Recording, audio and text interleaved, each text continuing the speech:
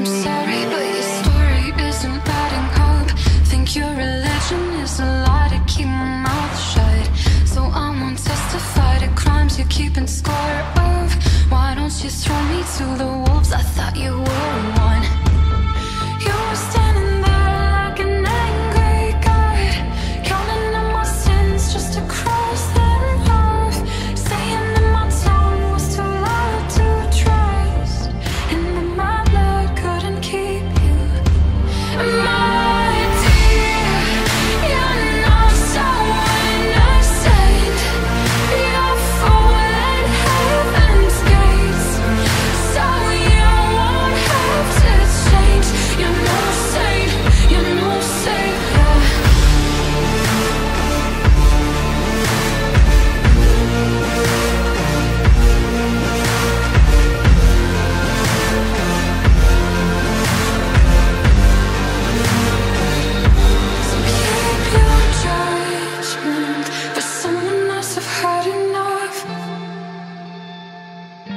and keep your judgment for someone else. I've had enough.